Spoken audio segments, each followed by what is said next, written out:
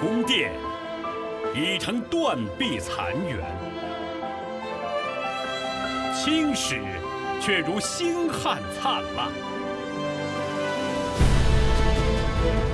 书卷虽被烈火焚尽，教诲仍然铭刻心间。英雄早已随风而逝，忠魂依旧涤荡人寰。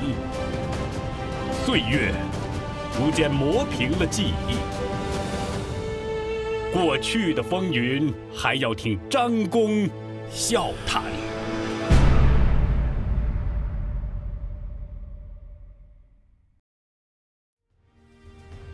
秦始皇统一天下后。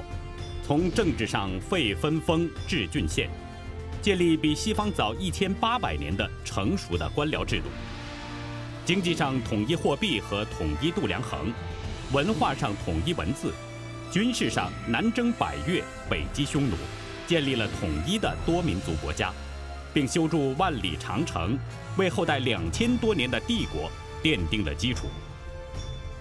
公元前二百一十年。秦始皇在巡行天下时驾崩于沙丘。